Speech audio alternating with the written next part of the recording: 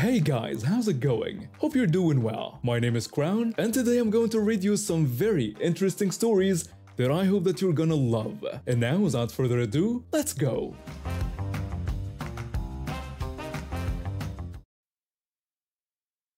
Recently, my company decided to open a new office in Milwaukee, and they wanted all remote workers to come in for a week long orientation and team building session. Not exactly my cup of tea, but hey, it's part of the job. So there I was boarding my flight from Denver to Milwaukee. The past few days had been hectic, packing, making arrangements for my cats, and trying to wrap up some pending projects before the trip. All I wanted was a smooth, peaceful flight where I could catch up on some sleep. Everything was going fine until we were ready to take off. The plane was fully boarded and we were just sitting at the terminal. The flight attendants had made several announcements asking passengers to put their electronic devices in airplane mode and stow them away. But there was this guy about two rows in front of me who apparently thought he was above such trivial rules. He was having what seemed to be a business call, speaking loudly enough that several rows of passengers could hear him discussing some sort of merger details. The flight attendant approached him with a warm smile and politely asked him to end his call and put his phone in airplane mode so they could begin takeoff procedures. The guy just waved his hand dismissively at her, continuing his conversation as if she wasn't even there. The flight attendant tried again, apologizing for the interruption but explaining that over a hundred passengers were waiting for takeoff. The guy kept talking on his phone, only briefly acknowledging the flight attendant to tell her that he was in the middle of something important. The flight attendant calmly explained that airline safety regulations required all devices to be in airplane mode before takeoff, and they couldn't proceed until he complied. She stood by his seat, not backing down. Finally, he ended his call with an exaggerated sigh, complaining loudly about how ridiculous it was and how some people actually had important business to conduct. The flight attendant maintained her professionalism thanking him for his cooperation. As she walked away, signaling to her colleague that we were finally clear for takeoff, the businessman started his tirade. He loudly complained about how rude the flight attendant was, comparing her to a prison guard and demanding if they knew who he was. He kept bragging about being in the middle of a million dollar deal. I turned to my seatmate, who happened to be a middle aged woman reading a mystery novel. We shared a knowing look, and I joked about voting him off the island first. She immediately agreed, seconding the vote. The businessman whirled around, informing us that he could hear our conversation. I responded that we could all hear him too, and pointed out that he'd held up the entire flight for 15 minutes. Several other passengers joined in, voicing their agreement. The businessman, now red-faced, declared it was outrageous and threatened to file a complaint. The flight attendant had to return and warn him to lower his voice, adding that they would need to take appropriate action if he continued disturbing other passengers. The businessman finally shut up, though he spent the rest of the flight aggressively typing on his phone, in airplane mode finally, and shooting dirty looks at anyone who looked his way. When we landed, I overheard him frantically trying to salvage his million dollar deal on the phone, only to learn that the other party had already signed with a competitor. Apparently, they didn't appreciate being kept waiting on the phone while he argued with the flight attendant. The flight attendant caught my eye as I was deplaning, and I made sure to thank her for handling the situation so professionally. The small smile she gave me suggested this wasn't her first rodeo with entitled passengers, but she appreciated the acknowledgement nonetheless. I'm a single dad raising my six-year-old son. His mom passed away when he was just two, and since then, it's been just us against the world. Yesterday was his first day of summer break and I promised him we'd celebrate with a trip to the mall and his favorite ice cream parlor. He'd been talking about this special sundae for weeks. It was this limited edition superhero themed thing with blue and red sprinkles, cookie crumbs, and a tiny chocolate shield on top. Not cheap at $8.50, but seeing his face light up when the server handed it to him was worth every penny. We were sitting on one of the benches near the food court when this kid, probably around 8 or 9, runs up to us and starts pointing at my son's ice cream, shouting to his mom that he wanted that ice cream too. I look up to see this woman in expensive clothes and too much makeup storming toward us. She immediately demanded that I give her son the ice cream. When I asked her to clarify what she meant, she explained that since her son wanted the ice cream and my kid had barely touched it, I should hand it over right away. I calmly suggested that she could buy her own ice cream at the parlor right there. She then started ranting about how that was the last one with the special shield, claiming the server had just told her they were out. She even had the nerve to complain that my kid wasn't appreciating it because he was eating it too slowly. My son was starting to get scared and clutching his ice cream closer. I told her that this wasn't my problem and that she couldn't just demand someone else's food. Her kid starts wailing, doing that fake cry thing some kids do when they want something. The woman then tried to blame me, screaming about how I'd made her baby cry and questioning how I could be so selfish. I snapped back, telling her she could buy her own ice cream and called her a witch.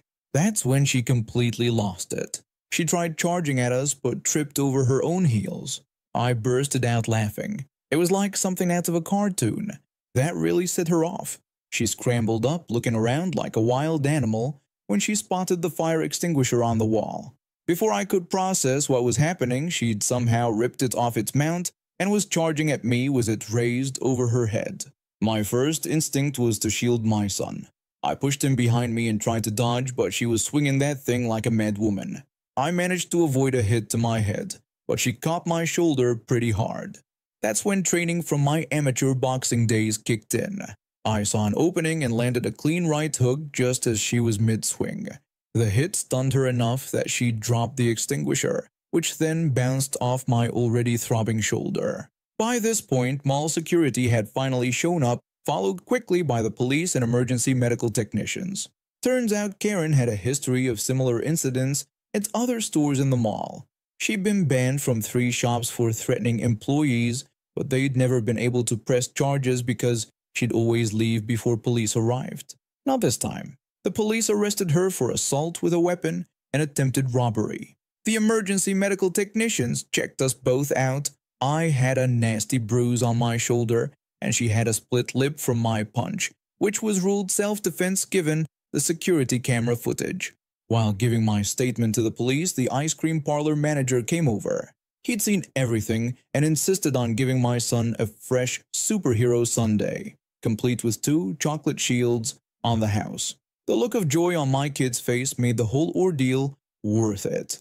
Karen is facing serious charges, and the mall has permanently banned her and her family. Her husband showed up later to pick up their kid, apologizing profusely and mentioning they're in the middle of a divorce, which explains a lot, but doesn't excuse trying to brain someone with a fire extinguisher over ice cream. It had been one of those days at work where everything that could go wrong did go wrong. We had a major system crash that kept me debugging for 12 hours straight. By the time I left the office, I was exhausted, hungry, and in desperate need of some quick groceries for dinner. All I wanted was to grab a few items, get home, and collapse on my couch. The local supermarket was my usual stop, I knew exactly where everything was, and they had these wonderful express checkout lanes for people with 10 items or less. Perfect for someone like me who lived alone and usually only needed a handful of things at a time. I had just grabbed my five items. Some pasta, sauce, bread, cheese, and a bottle of wine, definitely needed after today, when I spotted the express lane. There was only one person ahead of me, but something immediately caught my attention. Her cart wasn't just holding a few items, it was gradually filling up. This woman, probably in her 40s, was standing there with what looked like 15 to 20 items already on the conveyor belt. I cleared my throat and politely pointed out to her that this was the 10 items or less lane. She barely turned her head, waving her hand dismissively, and told me not to be so uptight, saying it was just a little longer wait. I noticed people starting to line up behind me, their expressions darkening as they realized what was happening. But it got worse. Two children, presumably hers, kept running back and forth from the aisles, bringing more items to add to their ever-growing pile. The cashier, a young woman probably in her early 20s, was visibly annoyed but clearly felt powerless to say anything. The line behind me grew longer, with people muttering and checking their watches. Karen finally finished checking out. She turned to me with this smug smile and asked if it really wasn't so bad after all. I didn't respond. I just watched as she and her kids wheeled their overflowing cart out of the store. After quickly paying for my five items, I followed them to the parking lot. They were loading multiple bags into their SUV's trunk, and I had an idea. I pulled my car directly behind theirs, blocking them in. I put it in park, turned on some music, and waited. It took about 30 seconds before I heard the first honk. I looked up and cheerfully waved. Another minute passed, and I saw her door open. She walked over to my window and demanded to know if I could move my car as they needed to leave. I apologized and told her I couldn't. She angrily asked what I meant and demanded I move my car right away. I simply repeated her own words from earlier, telling her it was just a little longer wait. I watched as recognition dawned on her face. Her eyes widened, then narrowed. She spluttered as she realized I was the person from behind her in line. I confirmed this and explained that my car wasn't quite done sitting in park so she'd just have to wait for me to be finished. She started ranting about having frozen items in her car. I suggested that maybe she should have thought about that before using the express lane for her weekly shopping trip. She stormed back to her car. I could see her gesturing wildly and complaining to someone on her phone. After a few minutes, she came back out and threatened to call security. I rolled up my window and focused on my phone, scrolling through social media, while occasionally looking up to see her growing increasingly frustrated. She came out one more time, practically red in the face, trying to intimidate me by bragging about her lawyer husband. I turned up my music slightly and continued ignoring her. Eight minutes felt like an eternity, probably just like it did for everyone waiting in line while she abused the express lane. Finally, after watching her pace back and forth between her car and mine, I started my engine. But before leaving, I rolled down my window one last time. I threw her own words back at her, asking if it really wasn't so bad after all, just a little wait, and suggested she might have learned something about express lane etiquette. Even better was seeing several people who had been in line behind me in the parking lot giving me thumbs up and smiling. Sometimes a taste of your own medicine is the best lesson, especially when served cold in a parking lot.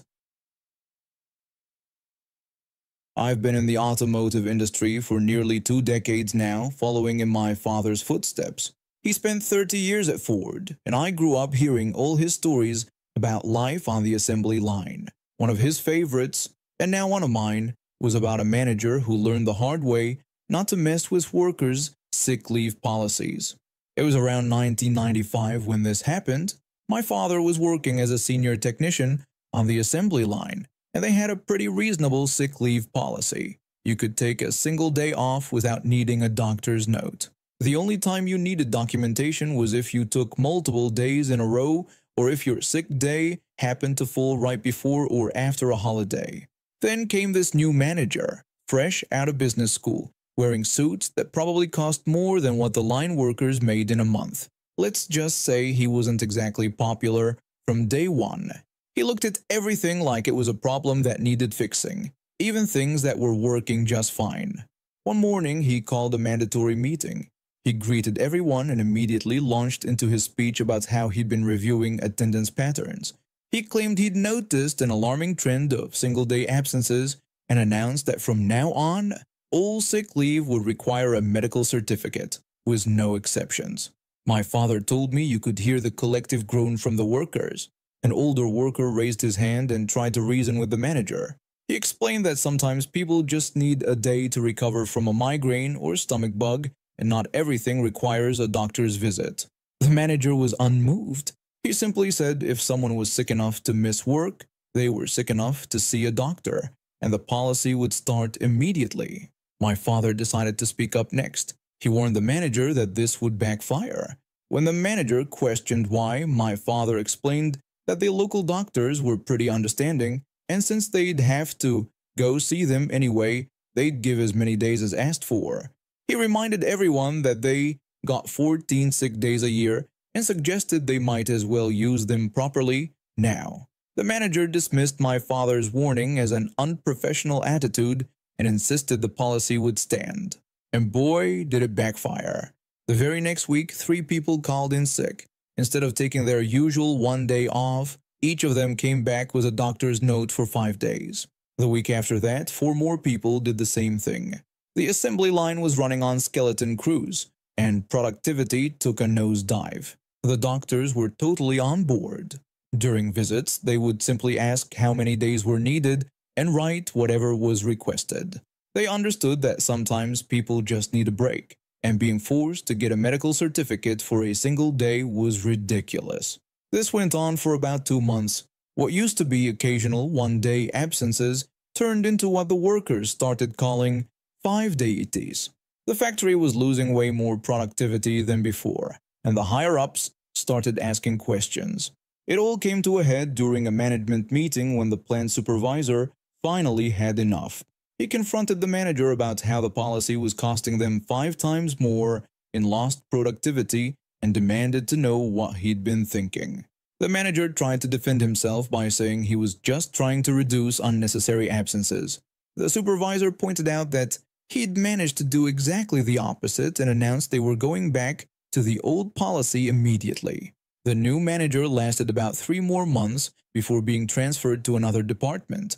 Fast forward to my story, I just started my first job at a different automotive plant, and during the orientation, our new department manager was giving us the rundown of his improvements. When he announced he was implementing a policy requiring medical certificates for every sick day, I couldn't help but laugh. This earned me a sharp look from him and he asked what was so funny. I told him that it was actually quite amusing and proceeded to tell him about how this exact policy had played out at Ford in the 90s. As I told the story, you could see the color slowly drain from his face as he realized what would happen. The other managers in the room were trying not to smile. The manager stammered that he needed to discuss this with human resources. Less than two hours later, we got a company-wide email stating that, after careful consideration, the proposed changes to the sick leave policy would not be implemented and the current policy would remain in effect. I saw him in the cafeteria later that day, and he actually approached me to thank me. He admitted that I had saved him from making a huge mistake and acknowledged that sometimes the old ways are the best ways. I responded by explaining that sometimes People just need a day to recharge, and if you treat them with respect, they'll respect you back. He turned out to be a pretty decent manager after that, always asking for input before making major policy changes. I guess some managers can learn from others' mistakes. They just need someone to tell them the story first. And now we have reached the end of today's stories. Thank you for watching, and see you next time.